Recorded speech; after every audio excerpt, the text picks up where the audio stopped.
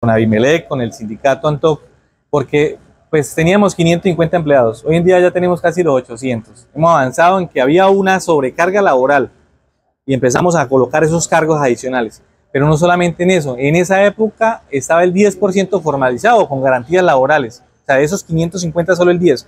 Hoy en día tenemos el 60% de los funcionarios con esta modalidad de contratación que da eh, unas garantías laborales y que mejora ese proceso. Obviamente entiendo la postura del presidente, eh, dice hemos avanzado, pero queremos más. Y también estoy de acuerdo como trabajador de la salud eh, que busquemos aún más la forma de garantizar el 100% de cobertura, de que la gente tenga acceso o oportunidad o el derecho a enfermarse, a vacaciones, a horas extras, recargos nocturnos, dominicales, festivos, todo este proceso que tenemos garantía ciertos trabajadores dentro de ese proceso. Una constante en el recorrido para la elaboración del plan de desarrollo, la concertación con las comunidades, fue una petición, programas de salud mental para la gente del departamento de Arauca. ¿Qué respuesta tiene desde la S a esa inquietud y solicitud y necesidad que está planteando la gente? En las mesas que hicimos con, el, con, la, con la formulación del plan de desarrollo, eh, en cabeza de nuestro gobernador, el ingeniero Renzo Martínez, las comunidades hablaban y hablaban de las necesidades más latentes que tienen en salud dentro de los territorios. Ellos hablaban de la infraestructura hospitalaria, seguir fortaleciéndola. Hablaban del equipamiento tecnológico, lo seguían haciendo. Hablaban de aumentar el portafolio de servicios e incluso lo hablamos hace un momento de buscar la oportunidad de hacer alianzas estratégicas o la complementariedad con la S del Sarare. Y hablaban también de la necesidad de la salud mental.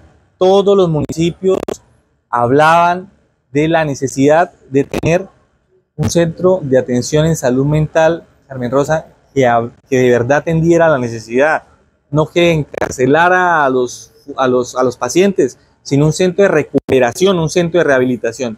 Nosotros en, en la mesa mm, de TAME, incluso el alcalde manifestaba la posibilidad de poder darle el terreno, pero nosotros también formular el proyecto y buscar la forma de apalancar la construcción de ese centro de rehabilitación que debe contar con un terreno amplio, mínimo, mínimo una hectárea y media, mínimo o dos hectáreas, que cuente con canchas, que cuente con espacios eh, de recuperación física, con espacios de rehabilitación eh, con psiquiatría, psicología, todo el proceso de la mano con profesionales idóneos eh, que garanticen de verdad una recuperación. Y es más, aquí en este momento hicimos de una manera respetuosa eh, desde la S Moreno y Clavijo poder ser pioneros y nosotros tenemos esa, esa necesidad porque es que no solamente lo expresan las comunidades, es que el perfil epidemiológico del departamento marca problemas de salud mental y las tasas de suicidio en el departamento de Arauca son alarmantes. Incluso los suicidios en los profesionales de la salud o el personal de la salud también se ha visto afectada.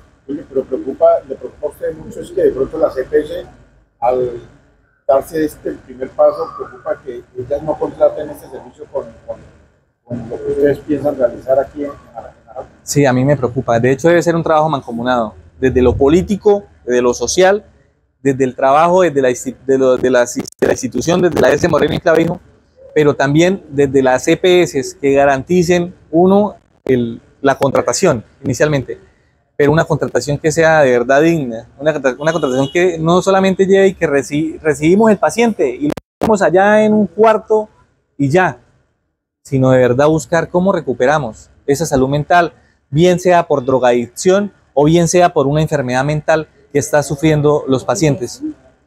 Esa, esa, en esos dos enfoques.